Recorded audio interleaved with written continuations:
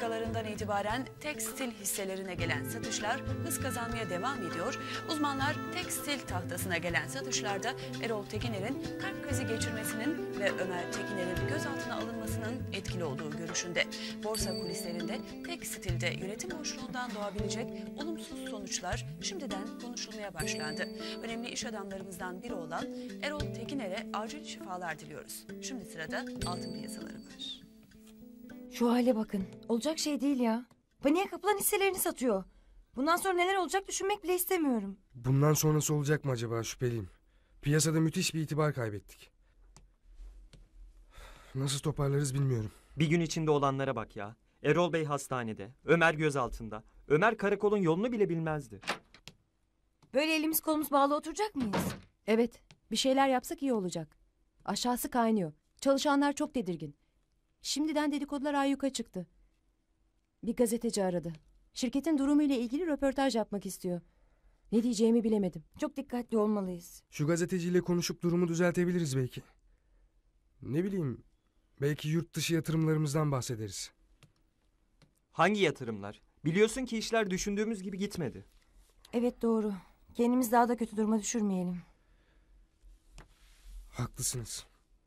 Artık doğru düzgün düşünemiyorum bile. Ya keşke Filiz burada olabilseydi. Ama gördüğün gibi Filiz yok. Şimdi herkes saksısını çalıştırsın. Bir şeyler yapmalıyız. Dua edelim de Ömer bir an önce gelip işin başına geçsin. Yoksa ortada bir şirket kalmayacak.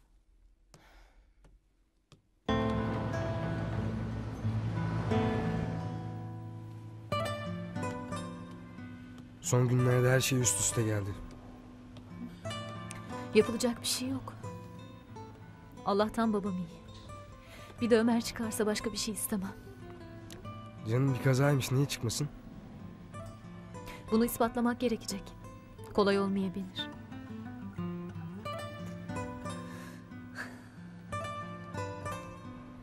Şirkette durum nasıl?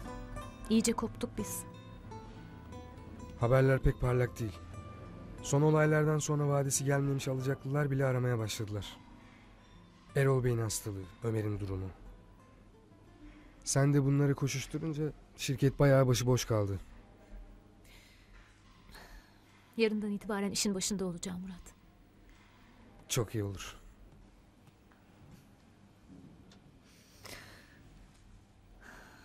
Neyse.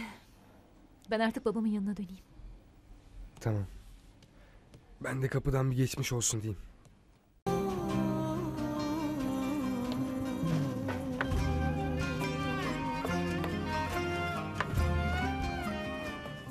Git ablanı çağır. Uyuyor mu yoksa hala? Bilmem, uyuyorsa uyandırayım mı? Uyandır tabii. Bir iki lokma bir şey yesin.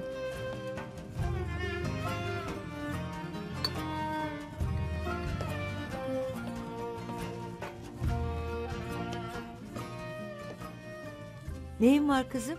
Hasta mısın yoksa? Yo, dün gece pek uyuyamadım da. Ne oluyor?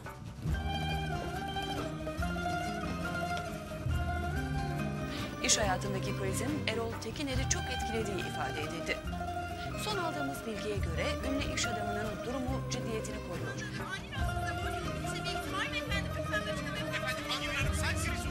Aa, Spor haberlerine geçmeden önce kısa bir ara veriyoruz. Benim hemen hastaneye gitmem lazım. dur ben de geleyim seninle. Yok, dur anne gelme. Şimdi orası cehennem yeri gibidir. Sonra gelirsin. Bize haber ver o zaman. Tamam tamam. Elif Hanım! Elif Hanım! Elif Hanım, Erol Tekiner'in son durumu hakkında bilgi alabilir miyiz? Eşinizi göremiyoruz. Kendisi nerede acaba? Elif Hanım bir ameliyat söz konusu mu? Elif Hanım!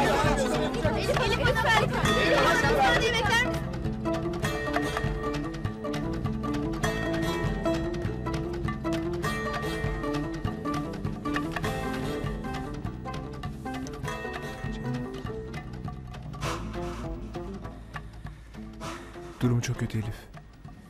İyi olacak, merak etme. Üzülme. Bak göreceksin atlatacak. Hı hı.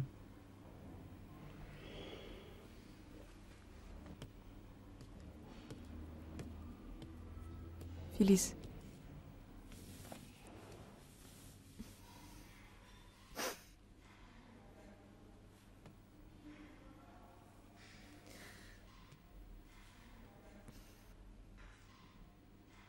Otursana yavrum. Hoş geldin kızım. Üzülmeyin.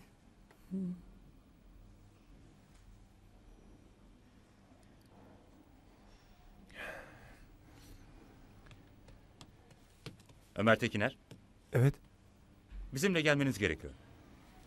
Neden? Ölüme sebebiyet vermeye teşebbüsten hakkınızda şikayet var. Ne? Bir yanlışlık olmasın memur bey. Tarık Bilgin'in yakınları şikayette bulundu. Şimdi bizimle gelmesi gerekiyor. Daha sonra gelse olmaz mı? Babamız yoğun bakımda. Bu konuda bir şey yapamam efendim. Buradayız işte. Nereye gidecek ki? Üzgünüm hanımefendi, kurallar böyle. Tamam. O zaman gidelim. Ömer, Siz burada kalın. seni hayatta bırakmam biliyorsun. Filiz. Gelsen de bir şey yapabileceğim bir şey yok. Sen Selim bir haber ver yeter. Tamam, hemen ararım. Babamın size ihtiyacı var. Benim durumum hemen çözülecek. Merak etmeyin. Müsaade eder misiniz lütfen? Ben onunla giderim Filiz. Senin kalman daha iyi.